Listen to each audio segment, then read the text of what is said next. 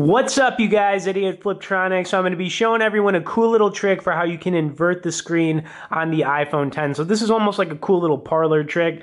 But anyways, uh, I've done this in the past, and usually when I do it, I'm like, you know, hey, check out my iPhone, and people will be like, oh, whoa, what'd you do? So anyways, uh, to do this, go into your settings, click on General, and then click on accessibility. All right, so uh, you know we're about to get this going, so it is kind of crazy uh, when you actually make it happen. But you want to click display accommodations. Okay, so uh, what I didn't realize in here was that there's two different ways to invert the screen on here. The first one's called Smart Invert. It says Smart Invert reverses the colors of the display except for the images. Uh, medium and then dark color styles. Okay, this one's kind of stupid, so I'm just going to show everyone what it looks like. All right, so this is kind of the smart uh, invert. I think that looks kind of dumb because we're about to check out the cool one, which is the classic invert. In here, let's check out the classic invert.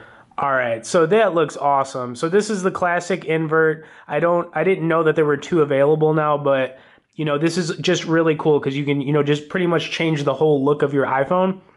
Uh, it even works on the camera. So if you're like, you know, shooting any kind of like photos or video, it'll invert the pictures too, which is really cool, which is kind of just another little tip if you want to, you know, take some crazy looking photos or videos. But anyways, um, you know, just a little tip here on the iPhone 10. Obviously, I'm going to be doing a lot of different videos with this. This is just one of those cool little parlor tricks, I guess. So if you get the like and uh, share button on this video, I definitely appreciate it. Thanks for watching it, and we'll see you guys later.